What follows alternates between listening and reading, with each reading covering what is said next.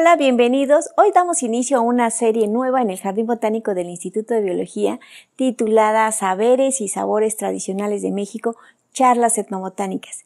Esta serie, que está hecha para ustedes con mucho cariño, está dedicada a dar a conocer una de nuestras colecciones más bonitas, más interesantes, que aunque ustedes no lo crean, no son de las colecciones de plantas vivas, sino una colección formada por diferentes partes de plantas que narran de alguna manera la historia de nuestro país. Acompáñenos en esta serie de la mano de la doctora Cristina Mape Sánchez, curadora de la colección etnobotánica del Jardín Botánico del Instituto de Biología de la UNAM, conozcamos más sobre esta colección que guarda no solamente la biodiversidad, sino también nuestra cultura. El tema del que hoy vamos a conversar, que es un tema muy sabroso, habla sobre el chile chilhuacle, patrimonio oaxaqueño en la gastronomía mexicana.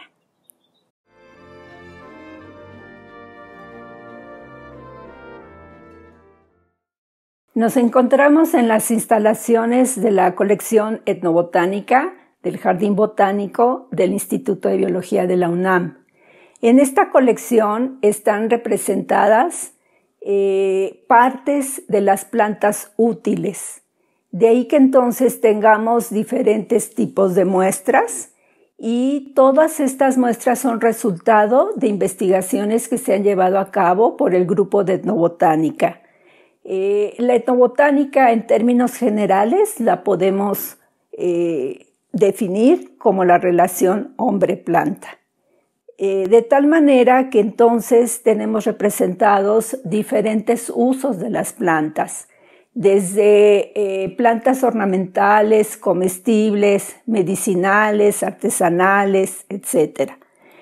los tipos de colecta que están representados son en espíritu, que son eh, en alcohol al 70%. Generalmente son frutos y flores que se mantienen de esta forma. Eh, otro tipo de colecta son manojos de plantas medicinales. Por ejemplo, está toda una colección de plantas medicinales eh, o comestibles que han sido recolectadas en diferentes proyectos. Eh, también tenemos eh, diferentes semillas, que eh, hay una colección de las principales o más bien todas las especies de frijol que se encuentran presentes en el país. Y estas colectas son resultado de un proyecto que se llevó a cabo hace varios años tenemos representadas diferentes tipos de, pues no es una artesanía, sino es esta planta tan importante que es tebetia, que es la que llevan los concheros en, los, en las piernas para bailar durante las ceremonias que se llevan a cabo. Tenemos también representado diferentes canastos, bolsas que están hechos con diferentes especies. Este es interesante porque está hecho con el lirio acuático y bueno, fue una muestra que se depositó aquí como resultado de tratar de aprovechar el lirio que es un problema en todos nuestros lagos. Y bueno, darle alguna alternativa de uso. Tenemos también una buena representación de todos los chiles secos, no todos, pero una muy buena representación de Capsicum annuum, que bueno, dentro de ellos está el chile chihuahua. Todas las plantas o las partes de las plantas que entran a la colección tienen información etnobotánica muy precisa y sobre todo están identificadas con eh, género y especie y todo se documenta en una base de datos que eh, va registrando todos los, las colectas que se entran y adquieren un número de colecta al entrar a la colección. Continuando con el programa de hoy y en un lugar diferente dentro de nuestro jardín botánico del Instituto de Biología de la UNAM, pues hoy vamos a dar inicio a esta sabrosa charla con la doctora Cristi Mapes, que nos acompaña hoy y quien ya nos explicó la importancia de la colección etnobotánica. Hoy para dar inicio a esta serie vamos a hablar del chile chilhuacle, un recurso gastronómico delicioso del estado de Oaxaca y del que la doctora Mapes hoy nos va a conversar. Doctora Mapes, bienvenida. Muchas gracias, Linda, Cristi, para nosotros. Muchas gracias. para, que, para que sea todavía más cálida esta, esta charla que vamos a llevar a cabo hoy. Cristi, hemos visto que dentro de la colección ahorita nos mostraste una muestra representativa de algunos de los chiles que, que tenemos en nuestro país, pero hoy particularmente vamos a hablar de uno rarísimo que mucha gente no conoce, que es el chile chilhuacle. ¿Qué nos puedes platicar del chile, de dónde es, por qué es tan importante?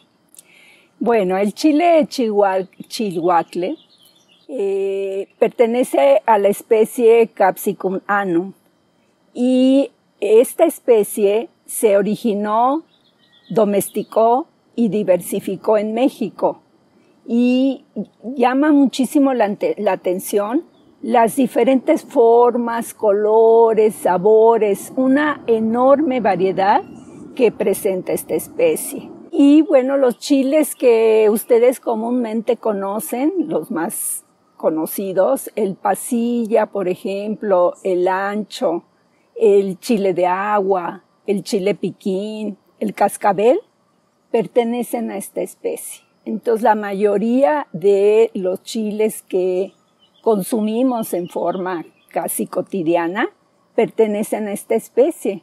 De ahí entonces eh, la enorme variedad que presenta, como decía yo, en cuanto a colores, formas y sabores. Y el chile chilhuacle es, también pertenece a esta especie. A esta especie. Cristi, ya estamos viendo aquí esta muestra de lo que nos hablaste ahorita sobre algunos de los chiles eh, más comunes y que dan ese picante y ese sabor a la vida de, a, la vida de nosotros los mexicanos. Pero este chile chilhuacle, ¿de dónde es, Cristi? Bueno, primero me gustaría decir lo que significa la palabra chilhuacle. Viene del náhuatl, que es este chil, chile, y huacle eh, significa seco. Entonces, eh, generalmente la gente eh, habla de este chile como un chile eh, viejo, pasado, seco, ¿sí? Entonces esos son los términos que le asignan al chihuacle. Y eh, este chile es, se presenta únicamente en Cuicatlán, en la reserva Tehuacán-Cuicatlán, eh, especialmente en San Juan Bautista, en el estado de Oaxaca. es un chile, en especial el negro, y, los otros dos, que son el amarillo y el rojo, bastante caros. Eh, de hecho, preguntando de cuánto cuesta un kilo de, del chile negro, del chihuacle negro, pues se encuentra alrededor de mil pesos a mil doscientos generalmente. Tiene toda una razón de ser porque este mole eh, ha adquirido una importancia gastronómica y este, a nivel nacional e internacional.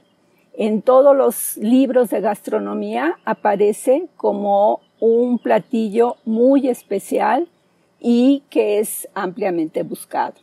Junto con el, el chihuacle negro tenemos también el rojo y también tenemos el amarillito. Eh, tanto el rojo también como el amarillito se hacen en diferentes moles, aunque el amarillito pues sí se hace mucho con verduras, a veces se considera más como un guisado y bueno pues son este, ampliamente preferidos. La otra característica que tiene es que cuando se, se seca, eh, sigue manteniendo la forma característica, no se arruga ninguno de los tres. Aquí está el rojito y también el amarillito. Y como ven, pues sí, es totalmente amarillo. Entonces, eh, eh, secos guardan mucho la forma que tienen. Y comparados con los otros chiles secos, como el pasilla, que pues ya seco es se arruga, se arruga totalmente, ¿no? Y bueno, estas tres colectas forman parte de la colección y fueron realizadas por el maestro Abisaí García Mendoza, junto con Rosalinda Mendoza, y bueno, pues forman parte de la colección. Y bueno, también entregaron fotos de, del, del chile en ahora sí que cuando lo colectaron. Y bueno, lo interesante es que también estas colectas, estos chiles se cultivan, pero estas colectas en particular fueron hechas en huertos familiares, ¿no? Entonces, este, pues muy interesante el dato. Sí, gracias Cristi. Estamos viendo aquí también en la mesa que Cristi nos hizo favor de poner esa muestra tan bonita de los chiles para que ustedes vean cómo la textura, cómo ese, eh, ese nombre que se le da en agua de chile viejo eh, no, no hace referencia a que se arruguen como normalmente podríamos ver en los otros chiles, sino que una de sus características es que conserva esta tersura, esta, esta forma. Y aquí pues yo no quiero perder la oportunidad de que estas muestras tan bonitas, de lo que nos acaba de comentar la doctora Cristi Mapes, el amarillito, el coloradito y el negro tres de los siete moles oaxaqueños que son un deleite al paladar de todos nosotros los mexicanos y como bien ya nos dijo Cristi, pues son de los platillos preferidos por los chefs. Cristi, entonces este costo tan elevado que tiene el chile es porque no se cultiva ampliamente, porque ¿cuál es la problemática de este chile o por qué nada más se cultiva ahí en la cañada de Cuicatlán? Bueno, es, es importante señalar que sí, solo se encuentra en, en este sitio y sí se cultiva, pero la producción no llega realmente a, satisfacer todas las necesidades en cuanto a la elaboración de mole, ¿sí? Y por otra parte, eh, o sea que la demanda es muy alta. Y por otra parte, el cultivo de, de, este chile tiene algunos problemas de enfermedades, de virus, como es el caso de, del virus del tabaco, entre otros, y también eso hace que haya problemas en su producción. Otra parte muy importante es que eh, actualmente los hijos de los campesinos ya no quieren cultivar. Y este es un fenómeno que está sucediendo en todo el país. Hay mucha emigración y eso hace también que se dificulte la producción. Entonces, eh, pues es muy importante eh, seguir haciendo investigación biológica, pero también paquetes tecnológicos que permitan que este, este recurso pueda pues venderse de mejor forma, producirse en mayor cantidad y bueno, es un, alguno de los problemas que se presentan. Lo otro es que ha perdido mucha, hay erosión genética, ha perdido variabilidad. Entonces también eso hace que pues esté en peligro, por lo menos no, pongamos atención en cuanto a seguir produciéndolo. ¿no? Cristi, una, pregunta de, de curiosidad general. Eh, normalmente cuando nosotros vemos algún fruto o alguna, incluso alguna planta, primero están verdes, luego están cuando ya se van madurando, bueno, van, pasan al, rojo, al amarillo. Eh, en este caso, ¿este chile chihuacle es el mismo chile, pero en diferentes estados de maduración? ¿O son tres variedades diferentes o tres chiles distintos? No, sí son tres eh, chiles diferentes, variedades diferentes. Eh, ahora sí que el que es amarillo es porque tiene estas características. Y en cuanto al chihuacle negro tiene mucho que ver la forma del secado. Eh, se siguen estos chiles en general secando bajo el sol. Entonces esto le da eh, ciertas propiedades organolépticas en cuanto a sabor, textura y, por lo tanto eh, desde el punto de vista culinario es tan importante, ¿sí? Entonces es una de las también de las características, que adquiere eh, el secado que hacen en particular, eh, que lo hacen sobre camas de piedra y que lo hacen este, durante el día cuando está el sol, lo guardan en la noche y lo vuelven a sacar. Entonces, pues sí. Tiene mucho trabajo el secado, el deshidratado. El deshidratado, sí. Y dinos, Cris, ¿el chile chilhuaque se come solamente fresco, se come de las dos maneras, o hay alguna, en este caso, este, alguno en particular como el negro, se come solamente seco? o se pueden comer de las dos maneras?